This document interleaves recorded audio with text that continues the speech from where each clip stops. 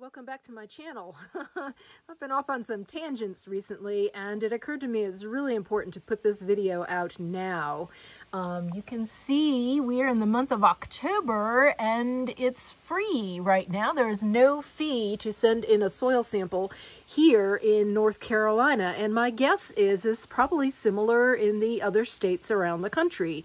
This is a not so busy time for the agronomic division of soil testing and so they allow us to send our garden samples in or field samples, whatever you're doing. Um, and, and not have to pay a fee. So it's just the cost of shipping it. So this is a little box and it's thin cardboard and um, you will note on here that it says um, do not use this box as a mailer. But it gives complete instructions for how to take the soil sample but I'm going to go out there in the garden and do it and take you along with me. And um, yeah I'll be posting today is Friday um, so I'll be posting this out on Monday. And when I get the results back I'll let y'all know in addition to this one, I am also going to send a soil sample into another lab where I do have to pay for a soil test. Um, however, that company or that lab provides uh, additional information and I'll put that together in a separate video. Um, yeah, so I'm, I'm excited. It's, um, it's fall uh, finally here and um, time to get the garden prepped up for garlic. So I'll be posting another video about that as well. Anyway, um, thanks for joining me in this little one and um, let's go get some soil and get it so, ready. First of all, um, they recommend to dig down six inches to, to take your sample from a, a core of six inches down in a bed that's been tilled and all my beds have been, you know, turned over by hand. Um, so I'm taking samples six inches down. And if you're starting a new garden area, say out in the lawn somewhere, you'd only need to go down four inches. But they recommend taking samples from across the space that you intend to garden in because different crops that you've grown um, will, if it's an existing garden, will take out different nutrients. And so by getting a cross section in the case of a vegetable garden, you're going to see what the overall soil has and what it lacks. So you'll know what to do to um, remedy it. And um, they say put it in a clean plastic bucket. Um, none of my plastic buckets are clean anymore. so I just got a plastic grocery bag and um, putting the samples in there. And I will um, go across the garden and um, get my samples now. There's a pumpkin oh, that's a Kuri, one of those Kuri squashes hiding in there. So anyway, I will um, do that and then you'll get to see the next part.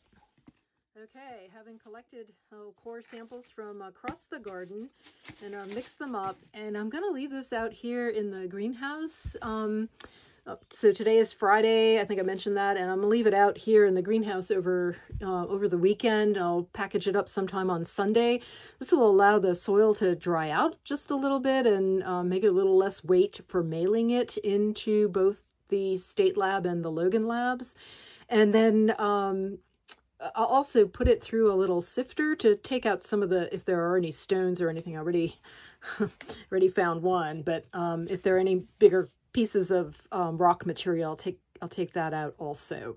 So, um, yeah, so that's where we are with this and um, more to come. And uh, just in case um, you missed my other uh, video about um, making nature prints, um, using the boiling method of making nature prints, um, I've I left these out since yesterday out here in the greenhouse to dry out because it's so nice and cozy in here and they're drying out and they're just beautiful. Um, so if you missed that video and you want a creative project to do over the weekend or um, share with your kids, um, check out my other video. Hey, okay, so uh, this is what I'm doing.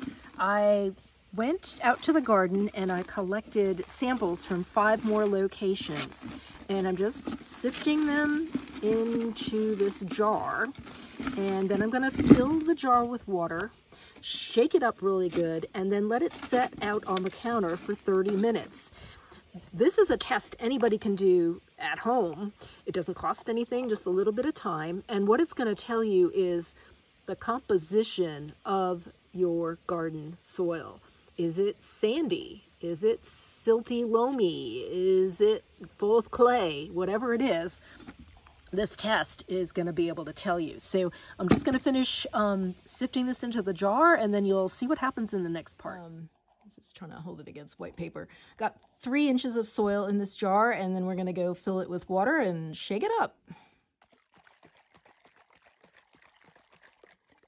Okay, now that shook up here and just for scientific purposes, I got my little timer set for 30 minutes and you can see what that looks like. Ooh, it's kind of messy. Um, start the timer for 30 minutes and then we'll come back and see what it looks like.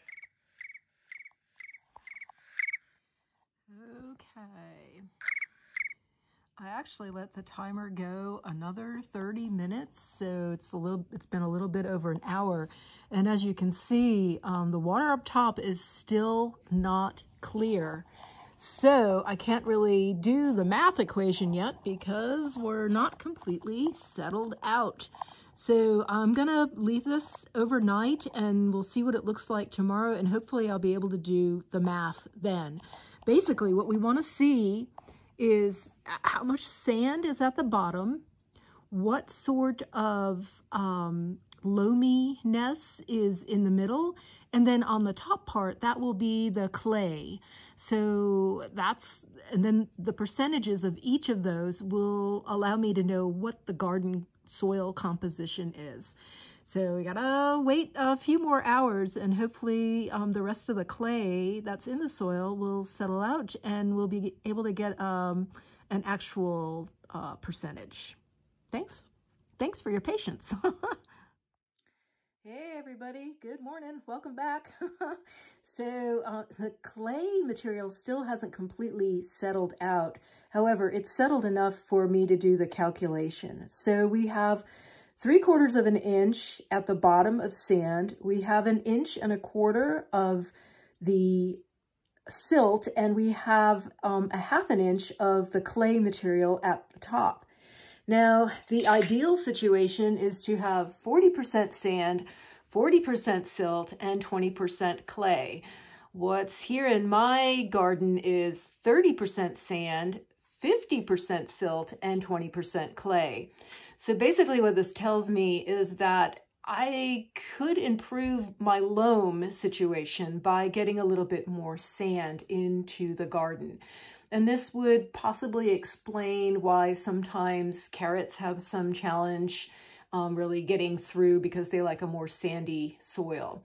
Um, the remaining stuff at the top here that hasn't settled out, that was just like the organic material that was in um, the soil, I sifted a lot of it out, but there was still a lot of fluffy stuff in there that um, made up the original mix of soil. And then I think you can see the, the gradation as, you know, the water is super cloudy here and it's less cloudy there. I'm just going to leave this out. I'm curious to see how long it will take before the really, really fine particles of clay settle out. And I think you can also see there's like a little light yellow line at the top where it's, you know, those really fine particles are settling out.